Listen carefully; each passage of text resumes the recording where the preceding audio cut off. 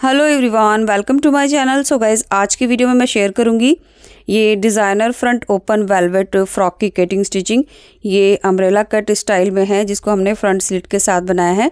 और इसके साथ मैंने ये ब्यूटीफुल सी पोटली बैग भी बनाया है। सो so गाइज़ ये कुर्ती बनाने के लिए हम यहाँ पर तीन मीटर वेलवेट फैब्रिक ले रहे हैं, क्योंकि मेरे फैब्रिक का अरज़ पैंतालीस इंच है, इसलिए मैंने तीन मीटर लिया है। अगर आप बड़े पने का फैब्रिक ले रहे हैं तो आप दो से ढाई मीटर में भी ये फ़्रॉक बना सकते हैं। और मेरी फ़्रॉक का जो मेज़रमेंट है, वो आप यहाँ स्क्रीन पर देख सकते हैं। इसके बाद फ़्रॉक के ऊपर जो हमने डिज़ाइनिंग करनी है, उसके लिए मैंने यहाँ पर ये ब्यूटीफुल सी लेस ली है। ये बहुत ही ज़्यादा ब्यूटीफुल लेस है।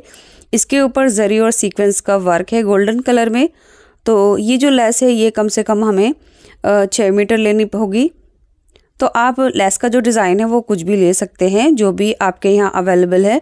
उसके बाद जो कुर्ती का घेरा है नीचे की तरफ़, उसमें हमने ये बीडेड लेस लगानी है तो ये मैंने छः मीटर ली है। अगर आपके पास ये लेस नहीं है तो आप कोई भी गोटा पट्टी वाली ट्रायंगल लेस भी किनारे पर लगा सकते हैं। और आप चाहें तो ये लेस स्किप भी कर सकते हैं नीचे घेरे में तो ये आपकी चॉइस है। अब सबसे पहले हम टॉप पार्ट कट करेंगे। टॉप पार्ट को मैं अरज़ में कट करूँगी तो इसलिए मैंने फोर फोल्ड करके बिछा लिया है। इसकी जो चौड़ाई है, ये देखिए, ग्यारह इंच के करीब है। और यहाँ से हम अपने टॉप पार्ट की लेंथ लेंगे। तो ऊपर से मैंने अनइक्वल फैब्रिक आधा इंच निकाल दिया है। उसके बाद टॉप पार्ट की रेडी लेंथ में एक इंच प्लस करके हम मार्क कर लेंगे और इसको कट कर लेंगे। तो मैंने ये सोलह इंच पर कट किया है। इसके बाद देखिए यहाँ से हम इस फैब्रिक को सीधा कर लेंगे क्योंकि ऊपर की तरफ़ जो फैब्रिक है वो अनइक्वल है। इसके बाद यहाँ से शोल्डर का हाफ़ लेंगे तो मैं सावन इंच ले रही हूँ नेक की विथ तीन ले, इंच लेंगे और आधा इंच पर कंधी डाउन कर देंगे इस तरह से। अब यहाँ से हम आर्म होल की लेंथ लेंगे तो ये मैं सावन इंच पर मार्क करके ऊपर मिला दूँगी। इसके बाद यहाँ से हम अपने बस्ट का फोर्थ पार्ट मार्क करेंगे तो मैं साढ़े नौ इंच ले रही हूँ और आगे की तरफ़ डेढ़ इंच हमारा मार्जिन आ गया। अब फ्री हैंड से बैक आर्मोल की शेप देंगे। आधा से पौन अंदर की तरफ़ हम फ्रंट आर्मोल की शेप देंगे इस तरह से। इसके बाद कमर की मैं फिटिंग लगा रही हूँ साढ़े आठ पर और आगे से हम डेढ़ इंच मार्जिन ऐड कर लेंगे। तो ये हमारा फिटिंग का मार्क है और ये हमारा कटिंग का मार्क है। और जो हमारा कटिंग का मार्क है, यहाँ से ऊपर की तरफ़ आधा इंच मार्क करेंगे और इस मार्क को हम पीछे तक गोलाई देते हुए मिला देंगे। इस तरह से। तो मार्किंग कंप्लीट हो गई है, अब बैक आर्म होल पर इसकी कटिंग कर लेंगे ऐसे करके।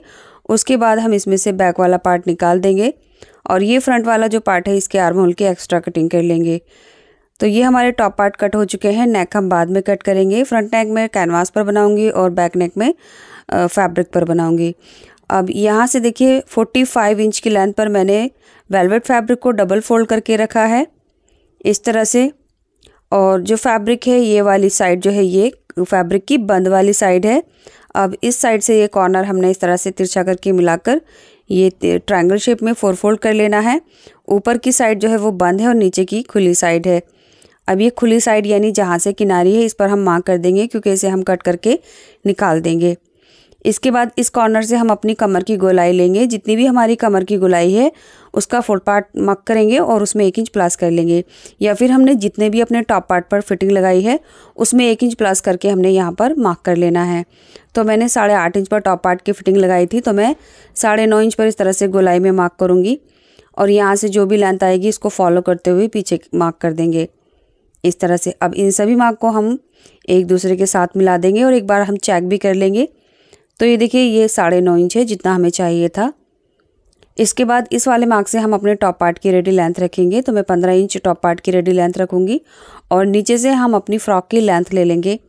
तो जितनी भी हमें रेडी लेंथ चाहिए, उसमें एक इंच प्लस करके मार्क करना है। तो यहाँ पर आप देख सकते हैं, मैंने फोर्टी सिक्स इंच की लेंथ पर मार्क किया है, फोर्टी फाइव इंच के अराउंड ये तैयार हो जाएगी। तो देखिए, मेरे घेरे की जो लेंथ है, वो थर्टी वन इंच आई है। अब इस तरह से मैं थर्टी वन इंच पर थोड़ी थोड़ी दूरी पर मार्क कर दूँगी। ऐसे करके उसके बाद हम इन सभी माँ को एक दूसरे के साथ मिला लेंगे। इस तरह से। तो घेरे की लेंथ उतनी ही आएगी जितनी लेंथ आपको कुर्ती की एक्स्ट्रा चाहिए। सभी मार्क को हमने इस तरह से मिला लिया है। अब इसकी कटिंग करेंगे। तो कटिंग करने से पहले ये देखिए, यहाँ पर मैं एक और मार्क करूँगी आधा इंच ऊपर की तरफ़ जहाँ से हमने कटिंग करनी है। तो कमर की साइड से मैंने आधा इंच और बढ़ा लिया है। इसके बाद जो हमारी किनारी है, यहाँ से हम कट कर देंगे। ध्यान रहे, जो हमारी बंद वाली साइड है, उस पर हम सीज़र नहीं चलाएँगे, इसको साइड में कर देंगे। और यहाँ से जो हमारी किनारी है एक्स्ट्रा इसको कट कर देंगे। किनारी को हमें ज़रूर कट करना है, क्योंकि किनारी के ऊपर जब हम सिलाई करते हैं तो बिल्कुल भी फिनिशिंग नहीं आती और झोल आता है। तो लीजिए, ये हमारा one piece half circle cut हो चुका है। इस तरह से, इसमें कोई भी जॉइंट नहीं आएगा। और जहाँ से ये ओपन है, वहीं से हम स्लिट बनाएँगे फ्रंट में। इस तरह से।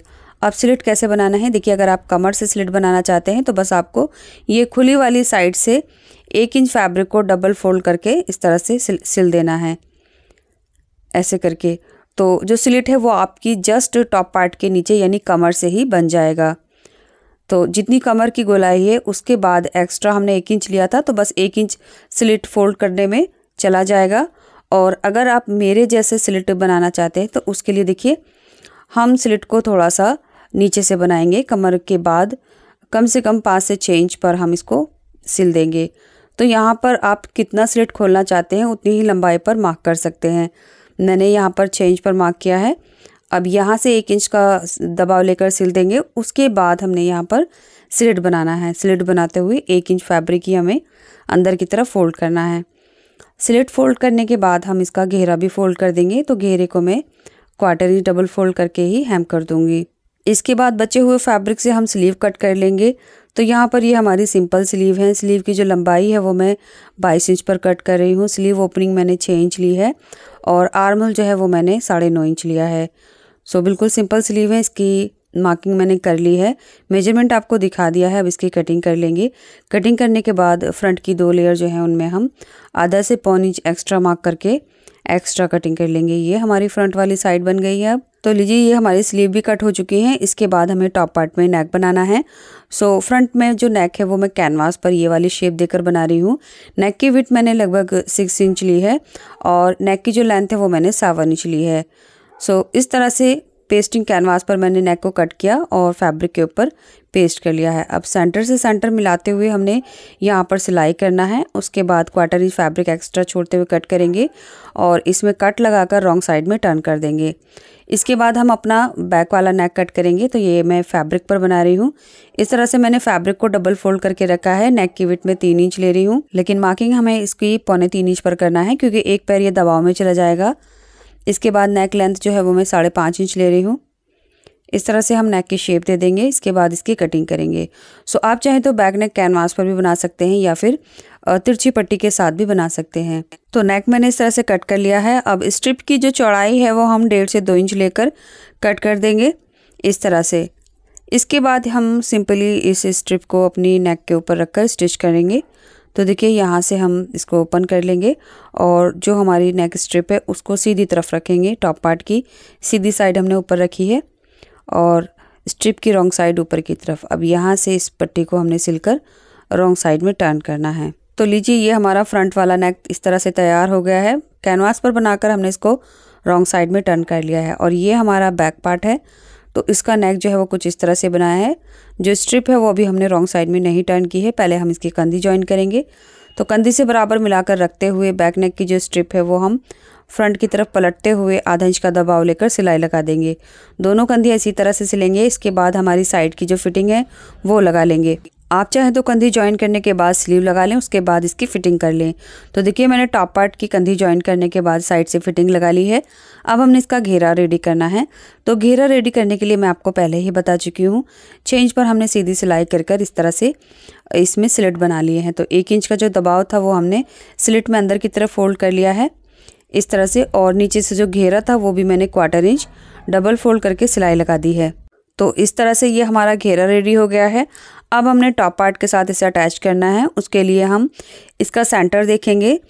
यानी जहाँ से हमने स्लिट बनाया है वही हमारा फ्रंट का सेंटर है और जस्ट उसके पीछे बैक का सेंटर है। सो so, ये हमारे फ्रंट के सेंटर हैं एक दूसरे के सामने आएँगे।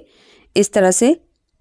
अब इसके ऊपर इसको हम ओवरलैप कर देंगे और यहाँ से सेंटर से सेंटर मिलाकर रखेंगे। इसके बाद यहाँ से हमने इसका जो घेरे की गोलाई है उस पर आधा इंच का दबाव लेकर सिल देना है। तो बस यहाँ पर ध्यान रखना है, जो फ्रंट का सेंटर है, वो बिल्कुल फ्रंट में आना चाहिए और जो बैक का सेंटर है, वो बैक में आना चाहिए। सो इस तरह से जो हमारा घेरा है, वो टॉप पार्ट के साथ अटैच हो जाएगा। सिंपली टॉप पार्ट को घेरे से हमने इस तरह से अटैच कर लिया है। इसके बाद हमने लेस लेनी है तो ये हमारी गोल्डन डिज़ाइनर लेस है, जिसको हमने स्लिट से यहाँ से लगाना है। तो एक साइड से हम कहीं से भी स्टार्ट करेंगे नीचे से, और इसको सेंटर ऊपर नेक के सेंटर में यहाँ तक लेके जाएँगे। उसके बाद जो नेक की शेप है, उस तरह से हमने टर्न करना है, इस तरह से। और अब इसके ऊपर सिलाई लगानी है। तो ये जो लेस है, ये दो सिलाई के साथ लगेगी और इसी तरह से ये वाली जो लेस है, हम दूसरे साइड साइड में भी लगाएँगे, ऐसे करके। तो दोनों साइड में लेस जो है, वो एक जैसे ही करके लग जाएगी। इस तरह से। इसके बाद हमने अपनी बीडेड लेस लेनी है, जो घेरे में लगानी है। तो घेरा हमने फोल्ड कर लिया है। सो so, यहाँ से हम ये लेस लगाना स्टार्ट करेंगे। जो इसके बीड्स हैं वो हम बाहर की तरफ़ निकालेंगे और इसके ऊपर जो स्ट्रिप है वो अंदर की तरफ़ कर देंगे।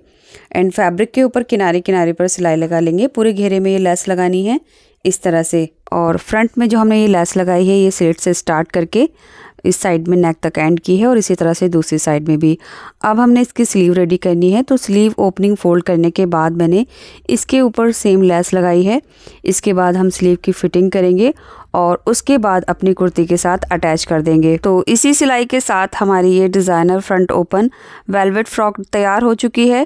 एंड इस फ्रॉक के साथ मैंने ये एक पोटली बैग बनाया है, जो सेम फैब्रिक और सेम लेस के साथ डिज़ाइन किया है। इस पोटली बैग की जो वीडियो है वो मैं अपने सेकंड चैनल जैदी ट्यूटोरियल्स पर पोस्ट कर चुकी हूँ। लिंक आपको इसी वीडियो के first pin comment description box और एंड स्क्रीन पर मिल जाएगा। और इस फ्रॉक के साथ आप स्ट्रेट पैंट बना सकते हैं जिसके लिए आप वेलवेट फैब्रिक टापेटा फैब्रिक या फिर ब्रॉकेट फैब्रिक ले सकते हैं। तो मैं भी इसके ऊपर स्ट्रेट पैंट ही बनाऊँगी, जो कि सेम वेलवेट फैब्रिक से बनाना है। और अगर आपकी मशीन वेलवेट के ऊपर सही से सिलाई नहीं देती बड़े बड़े टाँके आते हैं, सिलवट आती है या फिर कपड़े में झोल आता है तो उसके लिए आपको 11 नंबर की निडल का यूज़ करना चाहिए, जो कि वेलवेट फैब्रिक के लिए ही बनी है। और अगर निडल चेंज करने से भी सिलाई प्रॉपर सही से नहीं आ रही है तो आप अपनी मशीन को मकैनिक को दिखाएँ जो कि वो रिपेयर करेगा और वेलवेट फैब्रिक के अकॉर्डिंग उसकी स्टिच की सेटिंग भी कर देगा। तो चलिए यहाँ कर वीडियो कंप्लीट होती है। उम्मीद करूँगी ये वीडियो ये डिज़ाइन आपको पसंद आया होगा और आपने वीडियो को लाइक करके शेयर कर दिया होगा। साथ ही साथ चैनल को भी सब्सक्राइब कर लीजिए, क्योंकि मैं हमेशा इस तरह की यूज़फुल वीडियो पोस्ट करती रहती हूँ। Thanks for watching this video